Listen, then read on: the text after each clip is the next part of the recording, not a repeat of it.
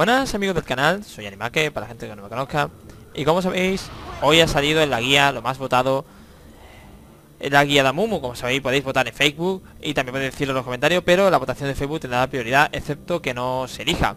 Aquí arriba a la izquierda lo estáis viendo la votación. Y bueno, voy a empezar a explicar las habilidades de Amumu. Lo primero es su pasiva, toque maldito. Lo que hace que el ataque básico de Amumu reduce la resistencia mágica en 15, es decir, 15 puntos, lo reduce durante 3 segundos. Vamos a verlo. ¿Dónde está nuestra querida Hanna? Hanna, Hanna, Hanna, Hanna, Hanna, Hanna, Hanna. Quieto. Vais a ver. ¿Lo veis? Cómo se ha reducido su resistencia mágica. Perfecto. Luego tenemos la Q, que es el lanzamiento de vendas. Es una habilidad bastante importante para agarrar a nuestros enemigos. Cuando estamos en jungla con Amumu, que esta es la guía de Amumu, la jungla, veréis que es muy importante por el hecho de que podemos saltar sobre nuestro rival y aturdirlo.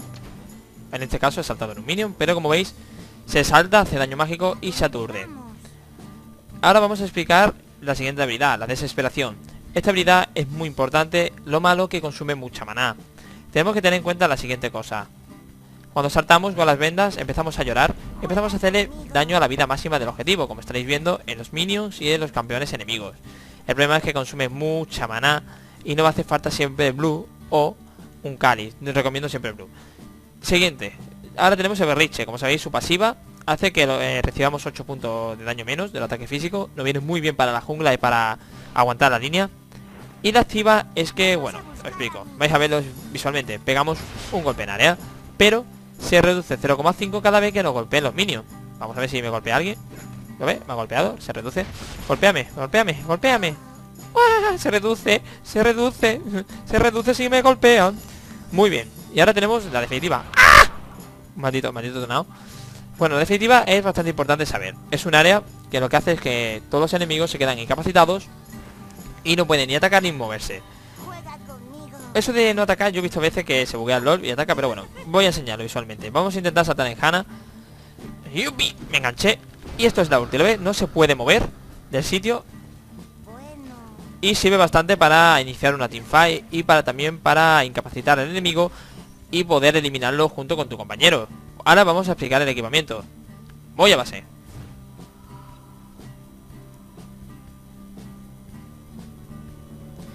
Vamos a empezar hablando del equipamiento. Podemos empezar la jungla de dos maneras. O con botas y pociones de vida, o con una armadura de tela y, cinco pociones de vida. Lo más importante es Personalmente a mí me gusta más la, bota de, velocidad para hacerme más rápido la jungla, pero lo importante es hacerse la jungla. Luego, lo, el primer objeto que vamos a pillarnos ahí a base va a ser la piedra filosofal. ¿Por qué la piedra filosofal? Además de darnos regeneración de vida y de maná, nos da 5 de oro adicional cada 10 segundos. Nos ayudará a conseguir el equipo más rápido de la jungla y también nos va a ayudar mucho en un futuro a tener el sueño de suelería para poder gankear más rápido. El segundo objeto que vamos a pillar va a ser el siguiente, el corazón de oro. Lo primero, si volvemos a base y tenemos las botas de velocidad, empezamos con bota de velocidad. Y la piedra filosofal, una de las botas que hemos pillamos, eh, pillarnos, perdón, son la de Mercurio o la de Ninja. Tenemos que analizar también según la situación. Si hay muchos personajes que no pueden incapacitar, bota de Mercurio. Si son muchos personajes que hacen daño pero no incapacitan, lo vamos a pillar entonces la, el tabi de Ninja. Muy bien, ya sabemos más o menos las botas. Vamos a hablar del objeto de oro también. Corazón de oro nos va a servir muchísimo porque ganamos más oro adicional nos ayuda también porque ganamos vida y nos va a servir después para otro objeto. Muy bien, ahora tenemos el dilema de qué objeto debemos de pillarnos primero, si el sueño de Surelia o la capa de fuego solar. A mi gusto, personalmente, la capa de fuego solar sería lo mejor. porque Ganamos vida, ganamos armadura y ganamos un daño en área de 40 puntos de daño mágico por segundo a los enemigos cercanos, más nuestro llanto, que pegamos a la vida máxima, que se me olvidó decirlo antes, perdonadme, 12 puntos de daño más 1,8 de su vida máxima nivel 2, después aumenta más. Eso es un daño bestial en, área, va a empezar a reducir muy rápido la vida del enemigo y con eso podremos dominar la línea. Muy bien, dominaremos la línea de cualquier enemigo que ganqueemos, pero vamos a necesitar un punto en nuestro favor, que será ganar velocidad. Como queremos ganar velocidad, nos hacer falta mucho en el sueño de Surelia. ¿Por qué? Nos da vida, regeneración de vida, regeneración de maná, reducción de enfriamiento, nos va a venir muy bien para saltar y todo.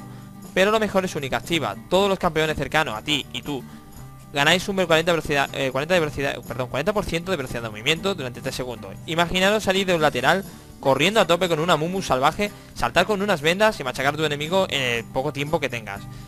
Es muy bueno comprar una sueño sin dudar a Mumu. Luego el siguiente objeto también es muy importante Voy a dejar que de, de llorar el Mumu, que si no se pone muy pesado. El siguiente objeto también es bastante importante. Os recomiendo también el pesaje Randuin. Es un objeto muy caro, ¿vale? El problema es que Randuin es muy caro. Por eso tenemos que tener en cuenta dos cosas. Si vamos muy bien, podemos pillar rápidamente Randuin. ¿Por qué? Ganamos más 350 de vida, 75 de armadura, 25 de regeneración de vida, reducción de enfriamiento, mejor. Al ser golpeado por ataque básico reducimos la velocidad de movimiento y la velocidad de ataque.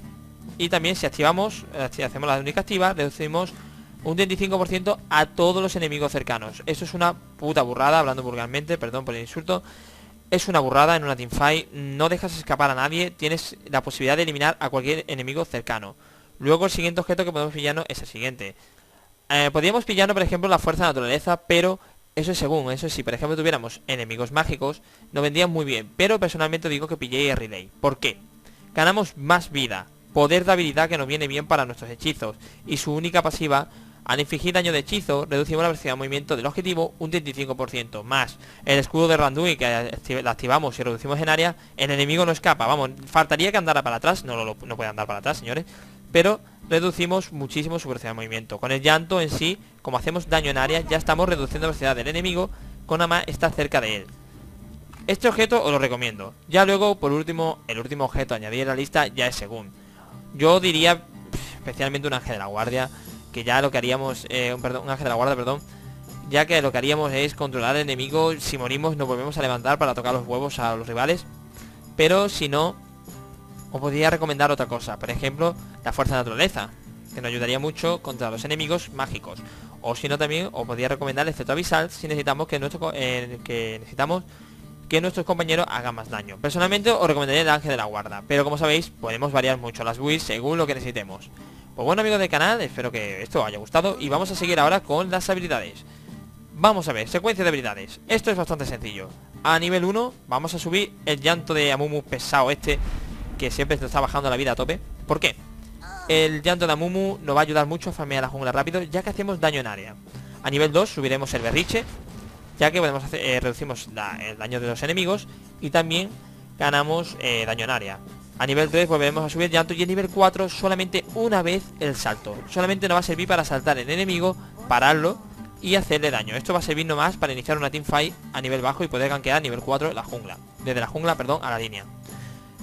Lo primero que vamos a priorizar realmente va a ser el llanto. El llanto es muy importante priorizarlo para poder eh, aguantar a los enemigos. Eh, a nivel 7 también os recomiendo que subáis eh, las vendas para poder hacer más daño mágico contra rival, pero os recomiendo, como estaréis viendo aquí abajo en la secuencia de habilidades, lo más rápidamente el llanto, luego el AE y por último la Q. Por como siempre, la definitiva se respeta. Pues bueno amigos del canal, espero que os haya gustado esta guía de Mumu. Como siempre, el objetivo del canal es vuestra diversión. Y muchas gracias como siempre por verme.